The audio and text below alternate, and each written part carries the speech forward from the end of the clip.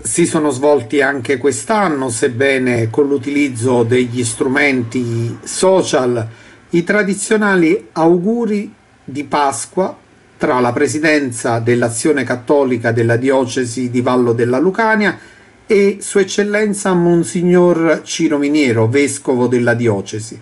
Nell'occasione, insieme ai presidenti delle associazioni parrocchiali, il vescovo ha voluto portare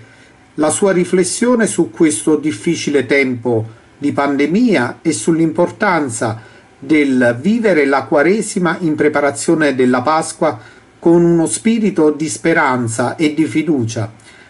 Ha ringraziato anche l'Azione Cattolica per l'importante ruolo svolto nelle diverse parrocchie della diocesi per accompagnare questo tempo difficile, non fermando l'attività che ha portato adulti, giovani e giovanissimi a vivere comunque questo tempo, sebbene con strumenti e modalità nuove, un modo anche questo per alimentare la speranza e vivere questo tempo di Pasqua con gioia e gratitudine.